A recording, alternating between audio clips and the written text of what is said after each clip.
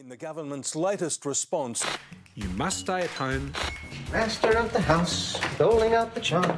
It's very important that everyone know that you are you are not alone.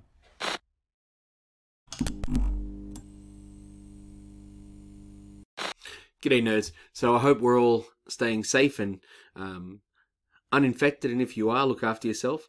Uh, but one of the questions I get from my colleagues fairly often uh, when they start using Google Slides is how do you put animations or um, transitions in there? The first thing I would say is when it comes to transitions, don't. Um, but for animations and transitions, it's a little less obvious than it is in Microsoft PowerPoint. Now, um, there's a lot of these aspects actually in Google Slides which are a little less obvious than they are in PowerPoint, and that's one of the things that I think stops a lot of people from coming over to um, Google Slides. I'm fairly agnostic. I like to use both depending on whatever. For example, I use um, slides to share with my colleagues uh, and share with my students because it's much more it's just a bit better at the interactivity and uh, multiple users than say um, PowerPoint is, and it always will be. But PowerPoint's always going to be a little bit easier to use. So here's what I'll I'll show you. I'll show you how to do it.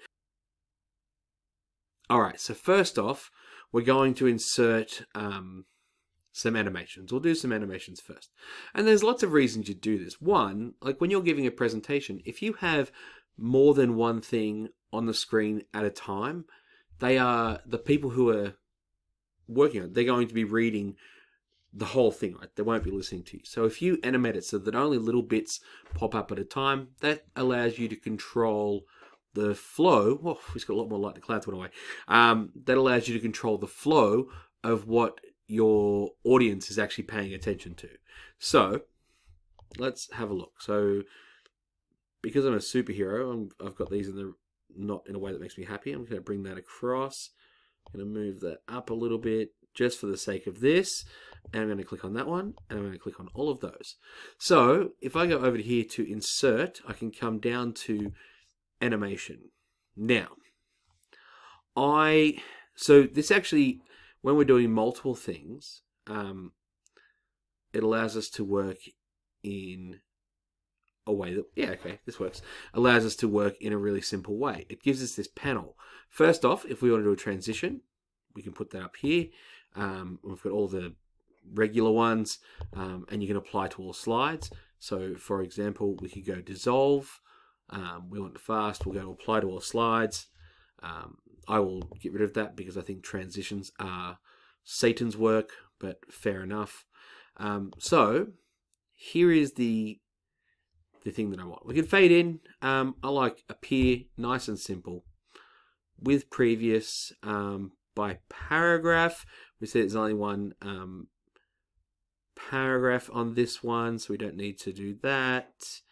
Um, yep, that's fine. That's just all the speed options. Now, we'll close that down, so that's good. And they fade in on a click. Um, and I want to go Ah, okay, hang a sec. So this is actually something that gets a bit tricky. Um, again, appear because we want it to be nice and simple. Um, and then we go with previous. So with previous means it will go one, two, three. And I want them to come in on a click so I can control it a lot easier. Um, and then we come down here. That's the same one. It's been animated twice. So if we click on the two of, that's the next one. We go by paragraph, because see how there's multiples in there. Uh, fade in on click, and again appear. And we see how they're in order. If I want to change the order around, I can actually drag up and down. That's the order I want though. And I can check my work by pressing play. So here's our crossfade. Um, then we click it, click it, and one more. There we go. Now, that works. Um, that means we don't have to keep going to present mode to check our work. And in doing that, I've found that this one should be above there. So now let's check our work. Again, we go from crossfade, it's gross, don't ever do it. Um, I could talk about this graph, I'd be like, yep, here we go. Um, here's a reaction rate. So I press click. Um, the rate of reaction is what it is. I'm like, but there's a, uh, an equation for this. Um, and here it is. And then um, I want this next bit of an explanation, see, so I'd give people time to write this down if we're in a class. And then I would talk and go, bang, here's the last one. Give them time, then talk about it. Um, remember, try and give time when people are writing and don't just talk at the same time because they won't be able to pay attention to it. Uh, stop, that's good, and then we just close off this box. So you highlight what you click on what you want to animate and you press animate. Now, if you just want to put on a, um, so just say I wanted to change the, set up the uh, transitions with no animations, I'd still have to click on something and click on animation. Now, the slight problem is that it has made this an animation, and I don't want that, so I'm going to get rid of that, but it allows me then move into this section up here. So, for example, I might want to move from dissolve to slide from right. That'll be fun.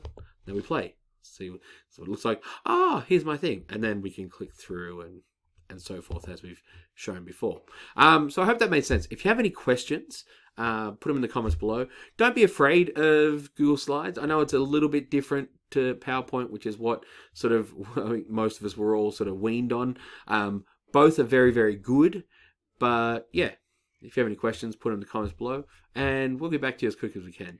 Thanks for watching, and we'll see you next time. Bye now.